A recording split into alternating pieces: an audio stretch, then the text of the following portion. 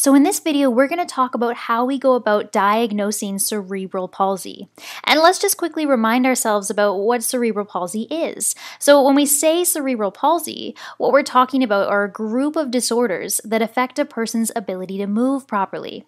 And these movement impairments, they occur because some parts of the brain that control our movements have been damaged or impaired in some way, maybe by an infection or lack of oxygen that occurred during really critical periods of development, like during pregnancy or the actual birth process or shortly after birth within the first few years of life. So let's say that this little boy here is a couple months old. Let, us say he's nine months old, and he's come in for a routine checkup.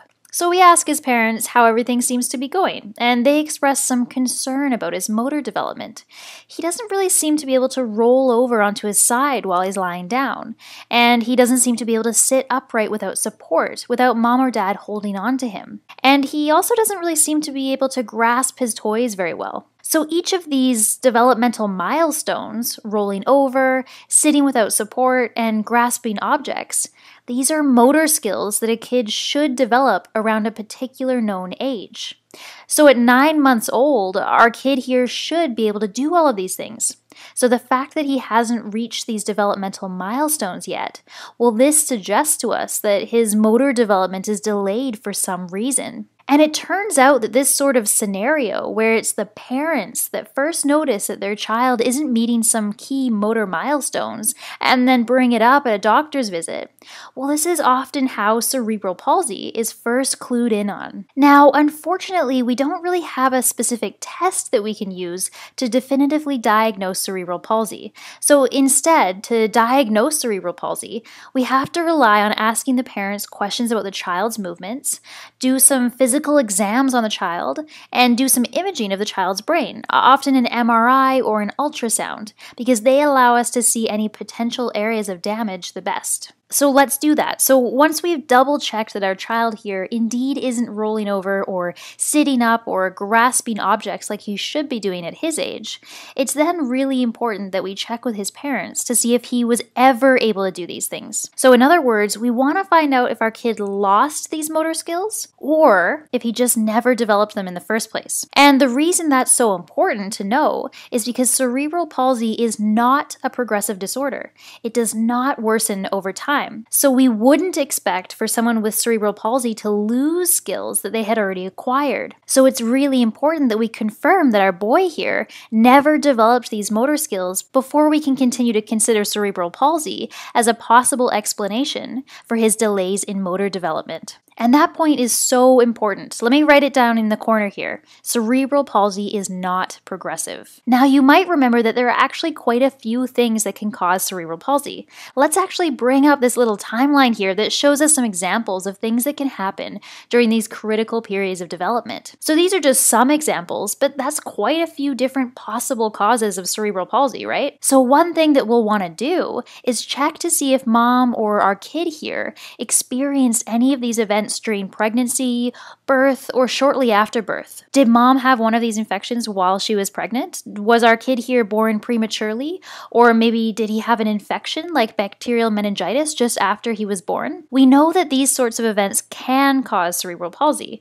so we'd want to find out if any of them had occurred to make us more or maybe less suspicious of cerebral palsy. So let's say that we find out that our kid here actually was born prematurely. We'll arbitrarily say that he was born at 31 weeks instead of at 40 week gestation like normal. So, since prematurity increases the chance of a baby developing cerebral palsy, we're definitely going to consider cerebral palsy as one of the possible explanations for our kids' delayed motor development. But we also know that not all kids who were born prematurely have cerebral palsy, so we can't be too certain just yet. We'll need to look for some more signs of cerebral palsy before we can figure out if it's the right diagnosis. So, if we wanted to look for more signs of cerebral palsy, what could we look for? Well, you might remember that while there are a few different types of cerebral palsy, the most common type is spastic cerebral palsy. And one of the main things that we see in someone with spastic cerebral palsy is really stiff muscles. And this stiffness comes about because of increased muscle tone. So, one thing that we can do to check to see if our kid's muscles are really stiff is we can push and pull on his arms and his legs to see if we feel more resistance than normal. Imagine if you were trying to pull down on your friend's arm while they were flexing their big bicep muscles. Well, this would make it harder for you to move their arm, right? Their arm would feel kind of stiff and you'd feel more resistance than you would if your friend just relaxed their muscles. Well, this is kind of what it feels like when you try to move the affected muscles in someone with spastic cerebral palsy. It's kind of like the muscles are permanently on and resisting your efforts to move them. So, on our boy here, we can move his arms and his legs and see if we feel any of that extra resistance that would indicate stiffness from increased muscle tone. Now, you might also remember that for someone with another type of cerebral palsy, dyskinetic cerebral palsy, the muscle tone can actually fluctuate. So sometimes the muscle tone ends up being really high and the muscles end up being really stiff, like what we're looking for here. But at other times, the muscle tone can actually be really low and the muscles can actually feel really floppy. So if we were doing this muscle tone examination here and notice that the muscles were actually really floppy instead of stiff, we might consider dyskinetic cerebral palsy as a possible cause of our kids' delayed motor development, but because dyskinetic cerebral palsy isn't nearly as common as spastic cerebral palsy, and because there are quite a few other causes of decreased muscle tone or floppy muscles, like muscular dystrophy or Down syndrome or certain infections,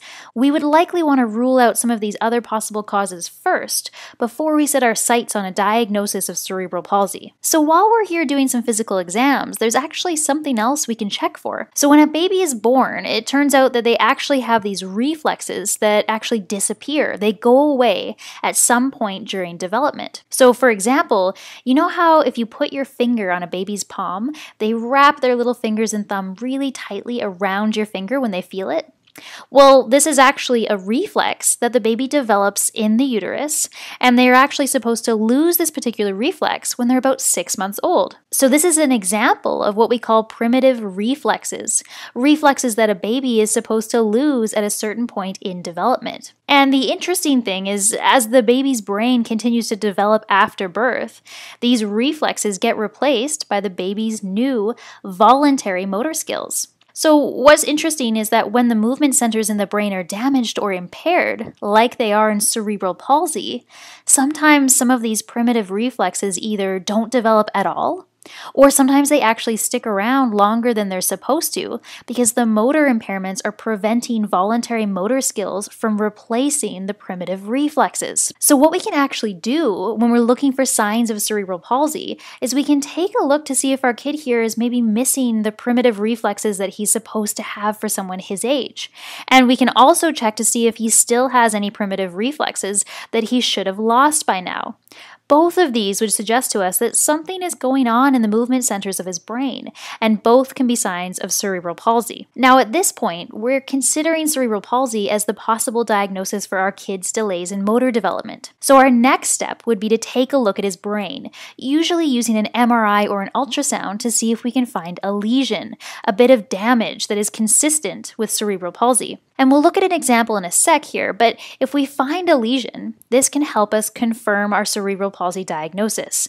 And what's more, it also might be able to help us figure out exactly what went wrong when the event took place and how bad the damage is, which can help us figure out what sort of long term consequences our child might end up with. So let's look at an example of what we might find. So, with our kid, he was born prematurely and is showing signs of cerebral palsy. So, one of our concerns is that he has what's called periventricular leukomalacia, which is damage to the white matter around the ventricles and a cause of cerebral palsy.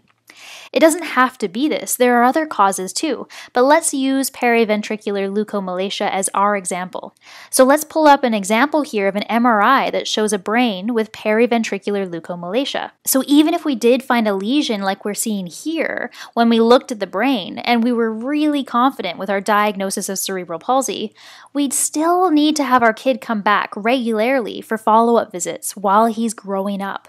Because again, even though the damage resulting in cerebral palsy is not progressive, new motor limitations might crop up as he develops and his brain is challenged in new ways. Things might seem one way now, but what about when he wants to start running upstairs or climbing trees? So, this is another reason why it can be really difficult to figure out which particular type of cerebral palsy a kid has at a young age like this. So, we'll likely need to keep seeing him over the next few months or maybe years before we can start to see more of a pattern to his movement abilities and limitations. And that way, we can make a more precise diagnosis.